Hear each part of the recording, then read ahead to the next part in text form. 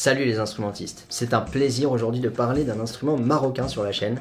Je crois que je l'avais pas encore fait. Peut-être qu'on avait évoqué le gambri. Bon, aujourd'hui on parle d'un autre instrument beaucoup, beaucoup, beaucoup, beaucoup plus rare. L'instrumentiste et chanteur Mohamed Rouisha, c'est l'un des musiciens amazirs les plus influents. Pour ceux qui le connaissent, ses mélodies sont reconnaissables entre mille. Ça c'est grâce à une chose, son instrument. Un instrument plutôt rare et très peu joué de nos jours, il faut bien le dire, le loutar. En arabe, el autar. Un son magnifique, un son pur. Tu peux pas imaginer, tu peux pas tester le loutar, tu peux pas tester.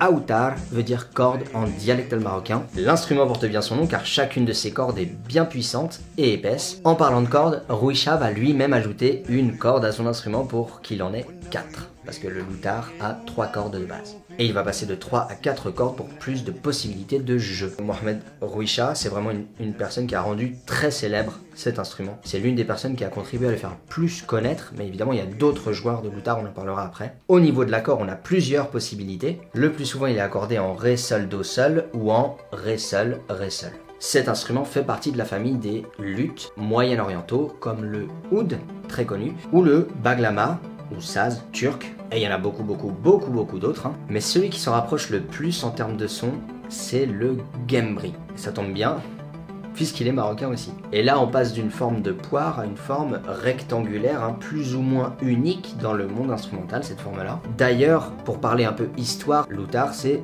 probablement l'ancêtre du gembri. On sait qu'il date du 8e siècle, qu'il était utilisé dans les cérémonies et qu'il a été dès lors utilisé fréquemment dans les musiques traditionnelles marocaines. Les mélodies jouées sont le plus souvent des mélodies marocaines amazir, telles que les chleux, les rifins, les anettes, ces trois peuples qui sont les peuples berbères du Maroc. Si vous voulez voir un peu ce que l'instrument a à nous livrer, je vous conseille le travail du jeune marocain Ayoub El Machat.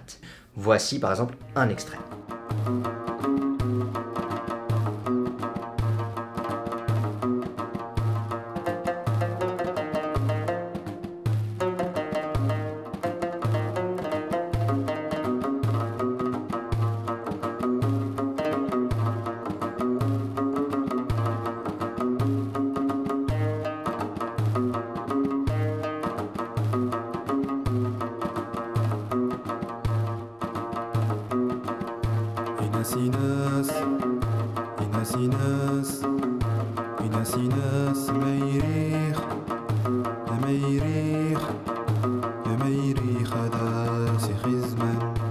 La plupart du temps en bois de cèdre et peau de chèvre, évidemment à l'époque, corde en boyau. Il est souvent performé avec le bendir, beaucoup plus connu lui le bendir. C'est une percussion qui, comme par exemple le caron, possède des cordes sympathiques, c'est-à-dire que quand on va taper sur la peau, ça va faire résonner deux petites cordes ou trois petites cordes derrière la peau tendue du bendir. C'est extrêmement difficile d'imaginer écouter du loutard sans bendir dans les bacs. C'est un peu comme son petit frère. Il y a peu de luthiers qui en fabriquent encore de nos jours. On peut le commander évidemment chez un luthier spécialisé dans les instruments moyen-orientaux. Il y a ce jeune français, luthier de Oud, qui fabrique des instruments épurés, très design, avec une vibe électrique, plug and play. Je trouve son travail assez impressionnant, du coup je vous, le mets. Il s'appelle Sylvain et il s'est spécialisé dans la fabrication du oud électrique et surtout ergonomique. Faut-il faire évoluer les instruments vers une notion plus ergonomique? Sujet d'une future vidéo. En tout cas voilà, le loutard du coup reste quand même assez rare et si vous en voulez un, il faudra